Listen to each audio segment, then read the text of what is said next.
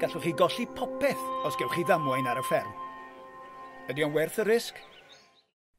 Arhoswch a meddyliwch am ddiogelwch cyn dechrau unrhyw waith.